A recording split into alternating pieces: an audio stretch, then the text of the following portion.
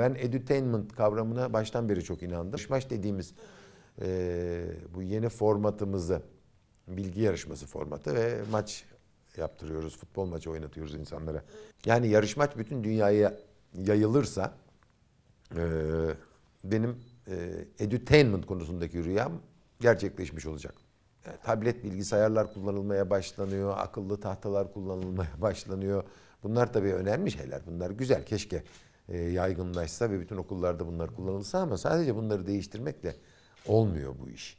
Direkt eğitimden çok insanlar, e, özellikle gençler, çocuklar televizyon, oyunlar, işte bilgisayar oyunları, bilgisayar ortamı, internet ortamı gibi şeylerle e, forme oluyor. Onlar da maalesef o çevrede gördüğümüz filmler, e, işte televizyon dizileri, televizyon programları maalesef e, bu söylediğim araştırıcı, düşünen, e, sorumluluk sahibi, insanlık hakkında sorumluluk sahibi insanlar yetiştirmeye yönelik değil.